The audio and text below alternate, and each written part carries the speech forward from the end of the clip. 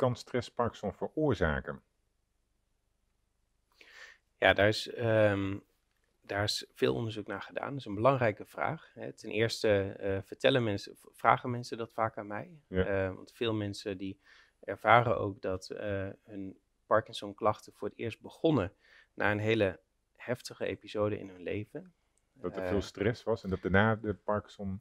Nou, bijvoorbeeld één mevrouw vertelde mij dat, ehm, dat haar tremor, hè, haar Parkinson begon met trillen, Ja. dat die begon de dag nadat eh, haar echtgenoot een heel ernstig hartinfarct had doorgemaakt. Ja. Hè, wat heel veel stress gaf. Ja.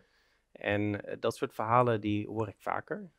Hè, en ehm, nou ja, dat roept een beetje de vraag op van wat is daar aan de hand? Hè? Veroorzaakt die stress echt de Parkinson of is er iets anders aan de hand? Ja. En we denken eigenlijk dat er wat anders aan de hand is. Ehm, wat we namelijk steeds meer beter weten is dat Parkinson ehm, al vaak al jaren aan de gang is voordat de allereerste verschijnselen zichtbaar worden. Voordat mensen met trillen of stijfheid eh, bij een dokter komen, soms vijf of tien jaar daarvoor zijn er vaak al nou, veranderingen in de hersenen zichtbaar. ja, ja.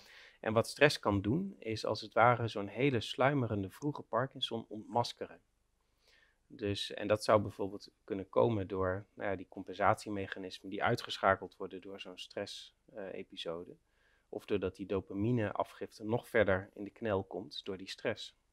Ja, dus, je, dus je, je hersenen kunnen al niet zo heel veel verwerken door de Parkinson, alleen merk je dat nog niet.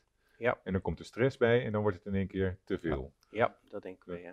Dus die Parkinson was dus hoe dan ook aan het licht gekomen. Mensen hebben dus niets van die stress gekregen, maar dat mensen merken dat het in de tijd samen kan vallen, dat klopt dus wel. Ja. Ja. Alleen, Maar het is geen oorzaak. maar het is niet de oorzaak. en. Dat is denk ik wel goed voor, om te weten. En andersom hè, ehm, is het ook vaak zo dat zo'n sluimerende ziekte van Parkinson mensen ook gevoeliger maakt voor stress. Precies. Hè? Ja, ja. Dus waar, het- waar, waar veel mensen ook over klagen is dat ze in die jaren voordat de Parkinson eh, Ja. zichtbaar werd, dat ze op hun werk moeite kregen met complexere taken Ja. hè, om alle ballen in de lucht te houden. En dat dat gewoon lastiger was.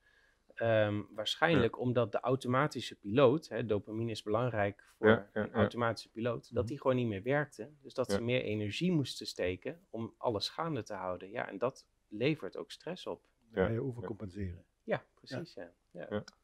Wat heb je